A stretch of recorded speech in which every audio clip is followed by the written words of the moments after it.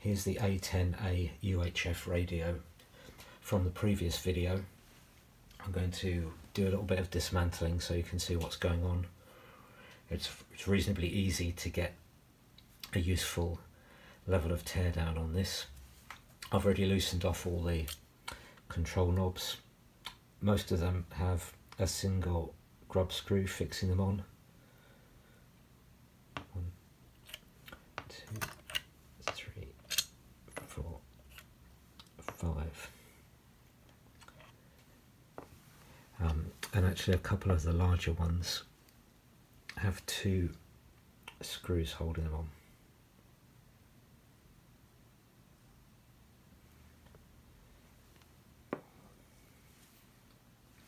One more.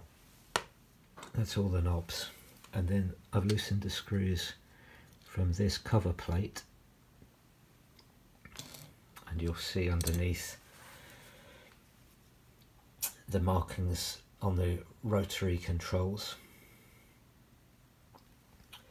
There's actually not much to be accessed from this top direction. Not easily anyway.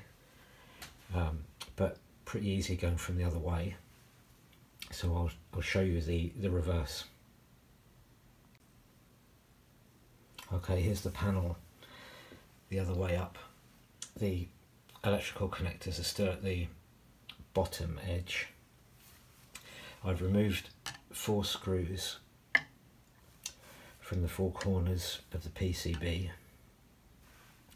and two screws towards the middle of the board that's all that's holding this circuit board in. It's it uses some multi-way connectors to join this board to the to the other one, so it comes off rather nicely as usual. I wondered what was going to happen to begin with, but you see, very uh, very nicely joined together. This board comes out so you see the back of the switches.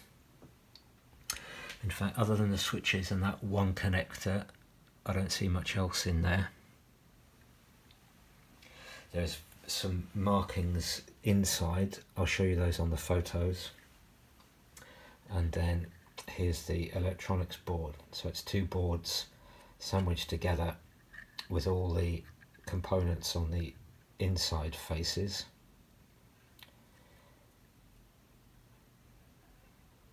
I'll give you some photos of those as well.